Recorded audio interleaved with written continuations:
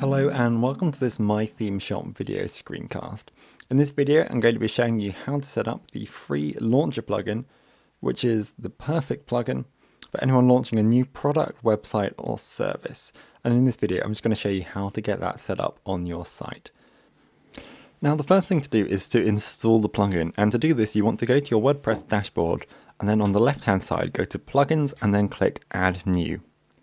Now from here you want to just do a search here for launcher and then click return and you're going to see you've got launcher coming through the maintenance mode by my theme shop showing up. And here you can just click install now and WordPress is going to download the plugin onto your site and all you need to do now is click activate plugin and you've now got the plugin activated. We still need to set up the plugin though and we can do that by going to settings and then clicking on launcher. This is going to take us to the admin page for Launcher. The first thing to notice is the Enable Launcher page box here.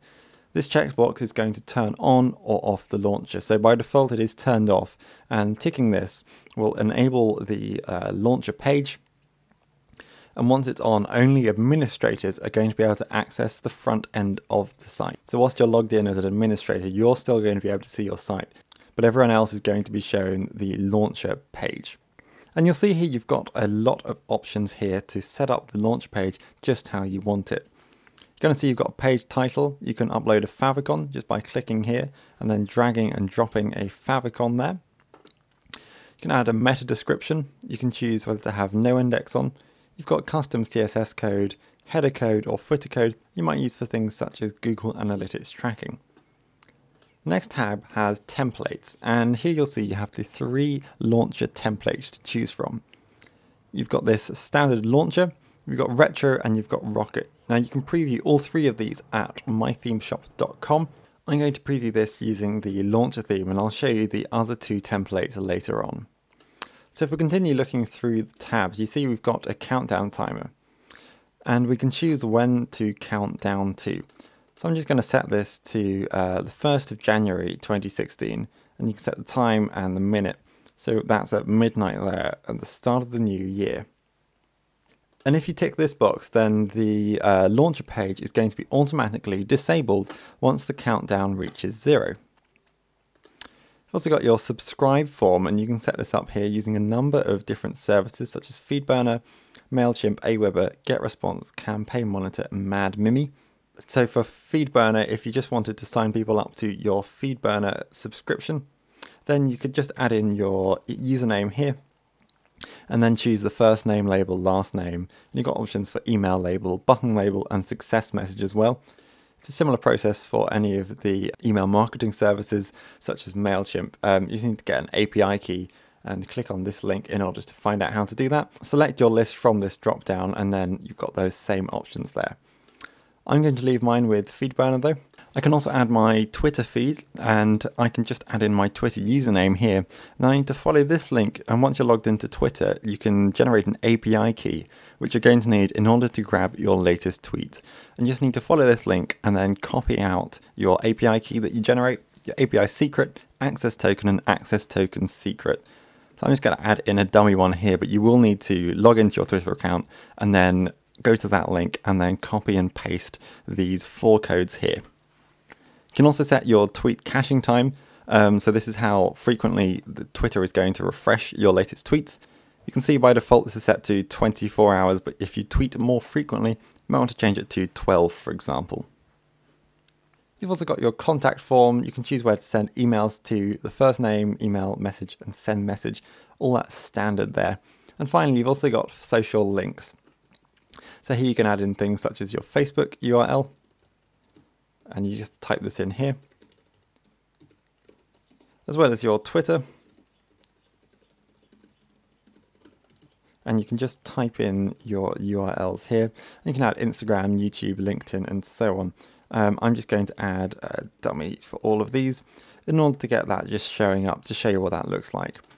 And once you're done, you can click Save, and if I now load up my site in an incognito window, then this is going to get rid of my login. And so I'll be able to see the uh, launch page as it would display to a user. As I mentioned, if as I'm logged in as an administrator, I'm still going to see the main site. So loading up in incognito is a great way to quickly preview this without having to log out. And you can see here we've got um, this message here, a logo, a countdown timer, we've got the email sign up form, about us, Twitter, we haven't uh, added in our Twitter API keys, but this would display your latest tweets here. And then you've got contact us and um, some information here about how to contact. Now you might be wondering how to customize that information there. And to do that, we just need to go to launcher up the top and then click on edit. Now this is going to take us to the launcher template editor. And this is a fantastically powerful tool that you can use to edit the appearance of the launcher template live on your site. Now you're going to see here you've got options to change just about every single aspect of the theme here of the template.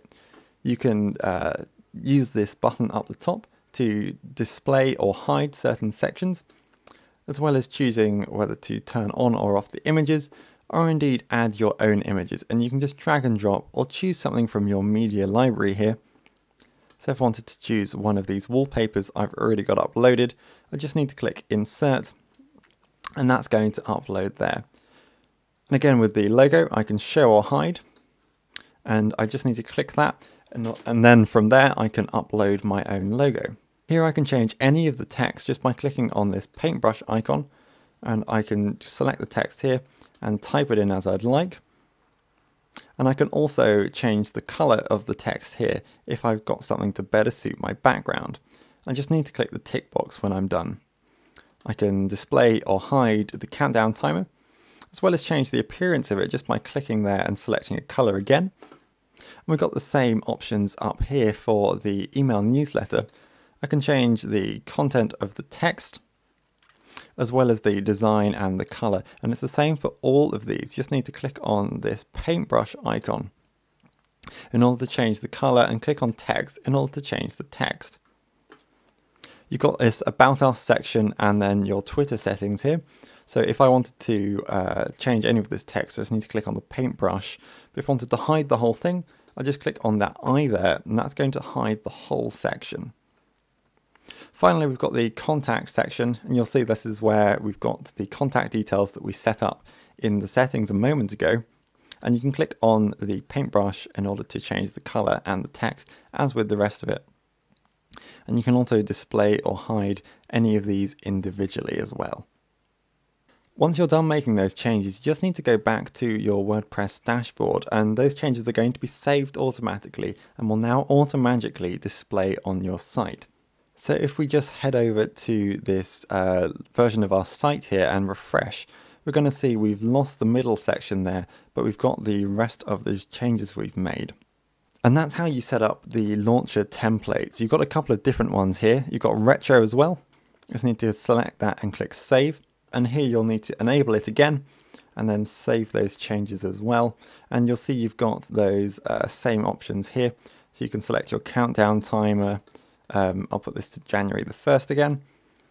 But you'll see you haven't got the subscribe form, Twitter feed or contact form options enabled because this template doesn't have those features available to it. But you can add your social links and I'll just add dummy links in order to show you what this looks like. As always, save your changes and then once again we just need to enable that and then click save. If you go to launcher and then edit, then you're going to see this is what the site will look like and you can edit any of these as you could before. So you can change your background image as well as displaying or hiding any of these sections as well as clicking to edit any of this text. As before, once you're done, you will find those changes saved automatically. And as well as previewing, you can load up an incognito window in order to check this. So, so if I refresh, then we're going to see we've got this different template displaying here. One final template to show you, um, click on templates again, it's this rocket template.